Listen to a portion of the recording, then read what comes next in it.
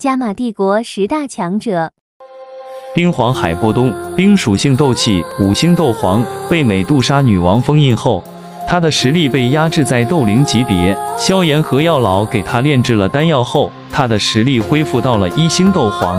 曾经他也是加玛帝国十大强者之一。在他与美杜莎女王对战后，所有人都以为他陨落了，于是加玛帝国十大强者的排名就有了变化。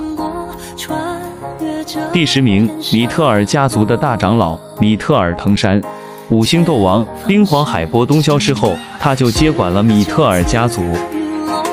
第九名，牧尘，加玛帝国牧家的族长，木属性斗气，五星斗王。第八名，纳兰杰，风属性斗气，五星斗王。他是纳兰家族的守护者，也是加玛帝国的失心元帅。第七名，云岚宗大长老云灵，风属性斗气，五星斗王。在他打伤了萧炎的族人后，萧炎就冲上了云岚宗，并使出佛怒火莲将他杀了。第五名，狮王炎狮，七星斗王。第六名，风行者风靡。六星斗王，这二人都是丹王古河的好朋友。古河前往塔格尔大沙漠寻找异火时，这二人就曾和古河一同去过。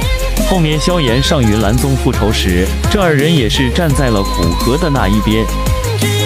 第四名，丹王古河，云岚宗的首席炼药师，同时他也是炼药师公会的长老，六品炼药师，拥有九星斗王的实力。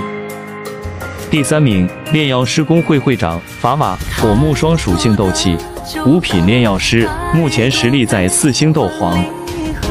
第二名，云岚宗现任宗主云韵，风属性斗气，实力刚达到五星斗皇。第一名，嘉行天，土属性斗气，拥有九星斗皇巅峰的实力，他是加玛帝国的皇帝，也是加玛帝国皇室的守护者。